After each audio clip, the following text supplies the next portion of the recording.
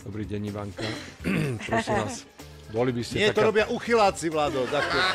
A to mi vôbec nevadí. Mohli by sme ten rozhovor hovoriť tak, že by ste ma trošku poškrapkali? Tak si zaplať. Ale, ale nemám peniaze pri sebe. Môžeme. A prečo, a prečo práve ty? A prečo neležíš, keď sa musí ležať pri tom? Veď aj nás poz... Vlado!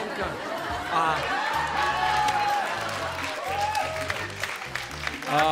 Musí Super, ležať, ani je pravda, že klienti pritom vedia aj zaspať? No, Zaspia. Jako, určite. Ježiš. Ah. Ah, aj takéto zvuky sa ozývajú zo... Niekedy. Ah, Až také nie. ja. Vlado, to zase iba uchyláci.